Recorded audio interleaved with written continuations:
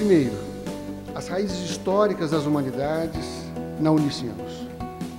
Ou, poderíamos dizer, quem sabe, as raízes da Unicinos nas humanidades. O segundo ponto, o compromisso originário e atávico dessa instituição com a formação de professores. Porque é com gente que se forma gente. A influência do iluminismo é o terceiro ponto, na constituição das ciências humanas. E, finalmente, o quarto ponto, a questão do futuro da humanidade, ou das humanidades, melhor dizendo, face ao atual desenvolvimento das demais ciências. Temos, olhando aqui nessa exposição, é, representados esses institutos que pertencem à escola, que são quatro.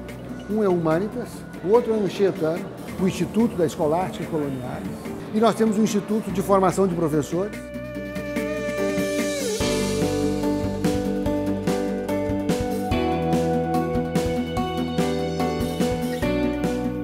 da escola, a gente pode relacionar cursos que são específicos de formação de licenciatura com outros que são de bacharelado. Eu acho que a escola pode trazer uma maior integração entre os cursos. No meu caso, como eu faço matemática, ah, para a gente não ter uma visão só da matemática, né? E ter uma maior visão de mundo tendo contato com outros cursos, né? Estamos agora frente a desafios importantes por causa do desenvolvimento impressionante de várias outras ciências, dentre elas as neurociências, por exemplo, que tem um impacto, vai ter um impacto muito grande em todas as áreas das humanidades.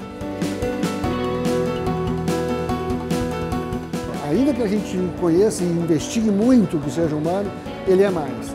Ele é mais do que apenas um objeto de estudo, ele é mais do que apenas alguma coisa que frequenta a universidade, embora nós nos interessemos por isso. Humano é mais.